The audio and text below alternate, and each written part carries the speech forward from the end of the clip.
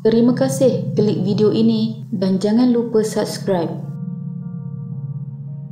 Pada 5 Disember 2015, perginya putera kesayangan rakyat Johor yang amat mulia Tunku Abdul Jalil Iskandar Ibni Sultan Ibrahim Ismail telah menggemparkan Malaysia. Almarhum Tunku Abdul Jalil merupakan anak anda keempat baginda dan putera ketiga kepada Sultan Johor, Sultan Ibrahim Ismail dan Permaisuri Johor, Raja Zari Sofia. Beliau merupakan Tunku Laksamana Johor dan juga adinda kepada Tunku Mahkota Johor, Tunku Ismail Idris Ibni Sultan Ibrahim Ismail. Almarhum Tunku Jalil sememangnya sering sering menjadi perhatian ramai terutama rakyat Johor. Berjiwa rakyat dan amat disenangi ramai kerana keramahan dan kemesraannya. Senyuman Tunku Jalil sentiasa terukir di wajahnya. Almarhum sangat mesra dengan rakyat dan sesiapa yang dekat dengannya. Dikabarkan pada hayatnya beliau sering dilihat berjalan-jalan seorang diri di sekitar Bandar Johor Baru tanpa ditemani sesiapa maupun pengawal peribadinya. Beliau seorang yang sangat merendah diri walaupun berasal dari keluarga diraja yang sangat disegani dan disanjungi Sungai almarhum telah mangkat pada jam 7.11 malam di Hospital Sultanah Aminah Johor Bahru pada usia 25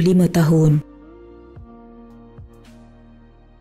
Almarhum Tunku Abdul Jalil dilahirkan pada 5 Julai 1990 di Istana Besar Johor Bahru. Beliau mendapat pendidikan awal di Sekolah Seri Utama Johor Bahru dan kemudiannya di Sekolah Antarabangsa Yayasan Pelajaran Johor YPJ Zaikarim Johor Bahru. Beliau adalah pemegang ijazah dalam kajian zoologi dan pemuliharaan dari Persatuan Zoologi London di United Kingdom. Sekembalinya dari London, beliau menjadi sukarelawan di Pusat Pemulihan Orang Utan Sepilok di Sandakan Sabah. Beliau juga merupakan sukarelawan di Jabatan Reptilia dan Veterinar Taman Zoologi Singapura selama setahun dan Zoo London selama hampir dua tahun. Tunku Abdul Jalil juga aktif dalam pelbagai pertubuhan amal termasuk Persatuan Spastik Johor, Persatuan Pencinta Alam Malaysia, Yayasan Orang Utan Appeal UK dan Persatuan Bulan Sabit Merah Malaysia. Untuk sukan, beliau tidak bermain sukan polo seperti putera diraja yang lain disebabkan alahannya terhadap bulu kuda. Namun beliau menunjukkan minat dalam pelayaran. Pada tahun 2011, almarhum Tunku Abdul Jalil menyertai kursus Inspektor Percubaan Polis Diraja Malaysia PDRM Ambilan 1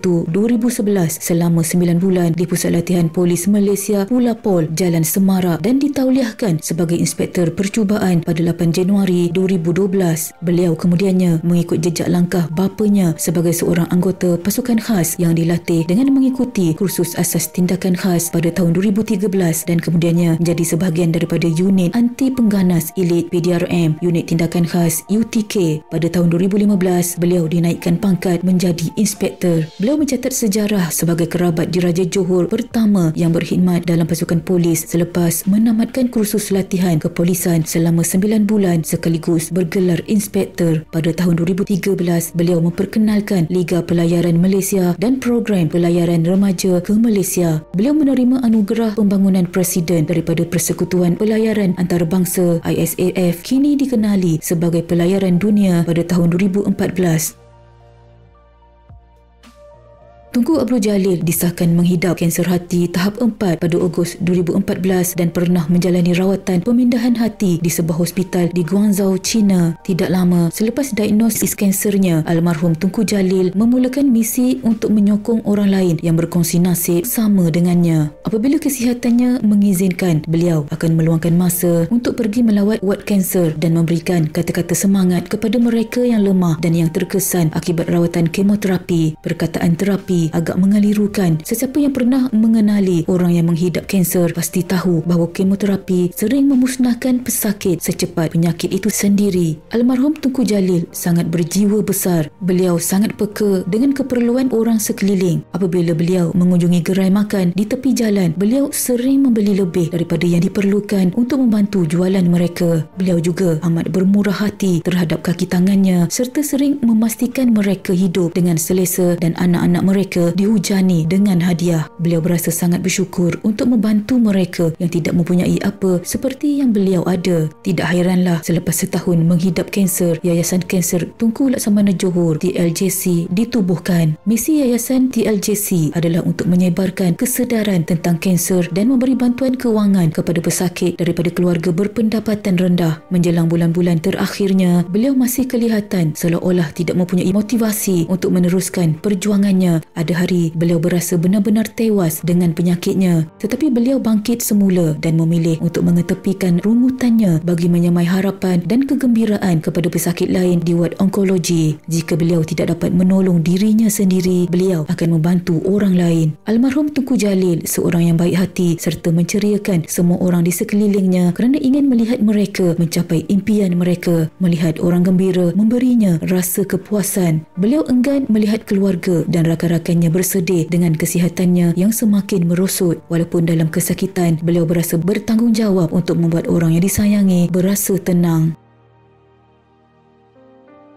Pada hari pemakamannya, almarhum telah dimandi dan dikafankan pada 6 Disember 2015 bermula sekitar jam 7 pagi kerana jenazah almarhum kemudiannya diletakkan di tengah-tengah bilik singgah sana istana besar kerandanya dilitupi bendera jalur gemilang dengan topi polis dan pedang di atasnya. Pada jam 9 pagi sehingga jam 11.30 pagi rakyat jelata diberi peluang untuk memberikan penghormatan terakhir kepada almarhum. Pada jam 11.30 pagi sehingga 12.30 tengah hari hari pula orang kenamaan diberikan peluang untuk memberikan penghormatan terakhir mereka. Jenazah almarhum telah selamat dimakamkan sekitar jam 2.40 petang selepas diarak menggunakan pedati diraja dari Istana Besar Johor Bahru, Sultan Johor, Sultan Ibrahim Iskandar, Tunku Mahkota Johor, Tunku Ismail Sultan Ibrahim dan Tunku Temenggung Johor, Tunku Idris Sultan Ibrahim turut mengiringi jenazah almarhum di atas pedati yang ditarik 10 askar Timbalan Setia Negeri TSN sehingga ke makam Mahmudi Muhammadiyah sejauh 3 km.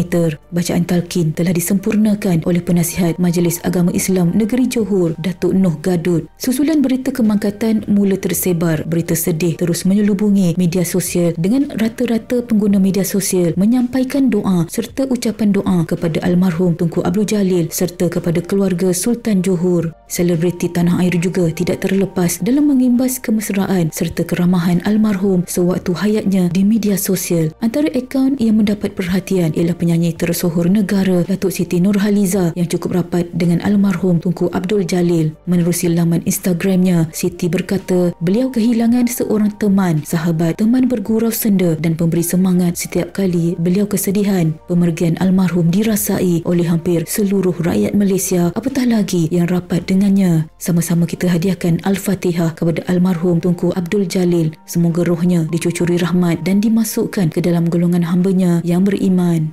Sekian.